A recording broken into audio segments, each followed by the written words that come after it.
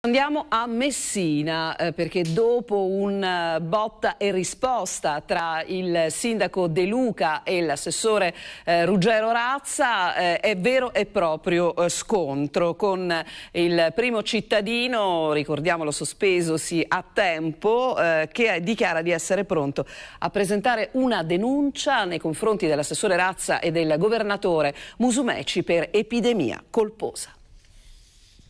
Lo scontro è totale e sembra essere solo all'inizio. Tra il sindaco di Messina Cateno De Luca e l'assessore regionale alla salute Ruggero Razza volano gli stracci per la gestione dell'epidemia da coronavirus nella città dello Stretto. Il nodo è quello dei tracciamenti dei contagi e della gestione dei rifiuti, ma va oltre, sino alla testa, quella che vuole De Luca, del direttore generale dell'ASPO di Messina, Paolo Lapaglia. O lui o io, aveva detto nella sua diretta di ieri quando ha annunciato le dimissioni ha detto di nuovo oggi. E giù una serie di accuse parlando di logica mafiosa all'indirizzo di Musumeci dello stesso Razza che oggi ha risposto parlando di pressioni indebite sulle autorità istituzionali. Questo è reato, ha detto Razza, se il sindaco Cateno De Luca ritiene che nei suoi confronti il presidente della regione e il sottoscritto abbiano agito con logica mafiosa o che si stia facendo qualcosa contro la legge, vada subito a denunciarci.